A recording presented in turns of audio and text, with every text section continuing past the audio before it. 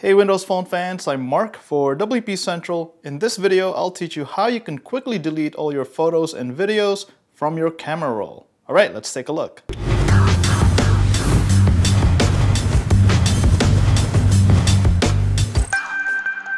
So if you have Windows Phone 8.1 preview for developers, just head over to Photos, swipe over to Albums, and then press and hold the camera roll there should now be an option that says delete content. It's going to ask you to confirm before you actually delete all those photos and videos. It's almost the same thing on Windows Phone 8.0. Just go to Photos, click on Albums, and then click and hold the camera roll.